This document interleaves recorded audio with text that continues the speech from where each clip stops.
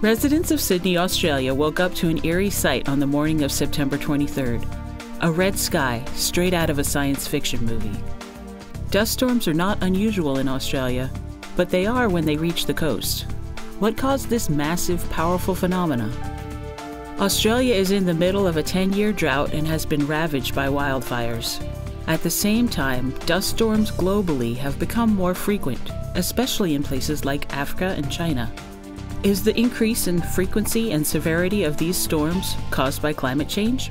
It's partially going to be due to climate change, but the thing about dust is that it's not just a, a climate change driven phenomenon. It's not only drought that leads to dust storms, it's a variety of factors. And so, what you see in different places in the world are different combinations of climate change and other human impacts that together are causing more dust storms in, in different regions. Some have suggested that dust storms might have a silver lining and help decrease the effects of global warming.